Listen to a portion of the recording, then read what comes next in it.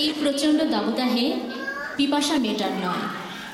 জানি শহরের ফাটা মাটি এখনও অনিমেখে চেয়ে আছে মেঘাদের পানে।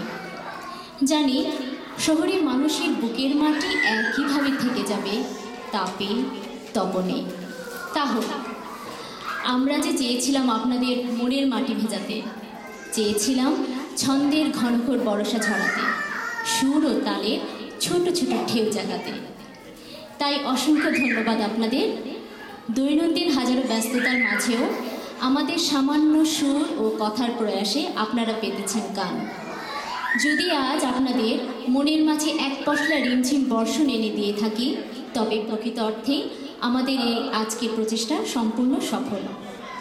বিদায় বেলায় বলি, আশা রইল আগামী দিনে এমনই এনে দেব আরও গান আরও কথা, সুরের নিপুণ কারুকাজ আপনাদের মনের এলোমেলো হারানো তন্ত্রীতে যাদের সহযোগিতা ছাড়া এই অনুষ্ঠানটি এত সুন্দরভাবে আপনাদের সামনে উপস্থাপন করা সম্ভবই ছিল না, তাদেরকে জানাচ্ছি আন্তরিক ধন্যবাদ।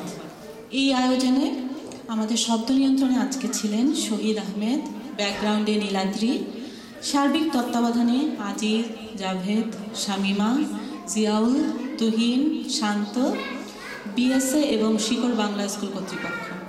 আপনারা প্লিজ এদের সবার উদ্দেশ্যে একটা জোরে তালি দেবেন।